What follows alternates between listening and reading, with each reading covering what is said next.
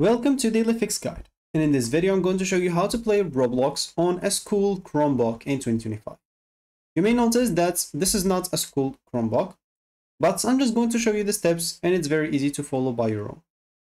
First, you'll have just to go and open your Play Store. You can go and look for your Play Store, and then let's say an example, or let's say that this Microsoft Store is the Play Store. You'll have just to go and look for Roblox simply click on it and click on install. Like you do on an android phone or something like that. Just go and install it and then you'll be able to enter your account and start playing if you can't install anything on the school chromebook you can use it on a website web-based option. You can open whatever browser you have available on the chromebook go to the url section and simply just go and look for roblox.com once you do so you'll be taken here.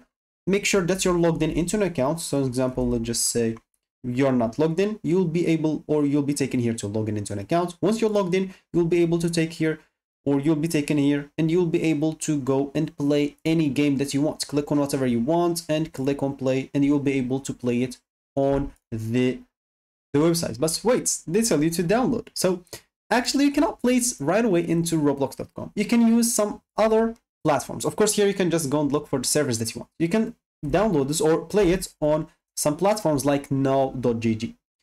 Those platforms will let you play games online, on websites, on the web, directly in your browser, no install required.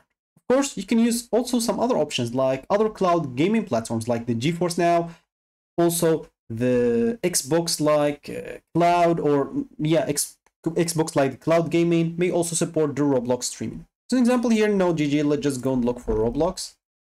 And you should normally like find it and start playing it without any problem. Of course, uh, the same will be for GeForce uh, now. If you have it, of course, that's good. If you don't, uh, that's going to be bad a little bit because it will be or it will need to be installed to play it.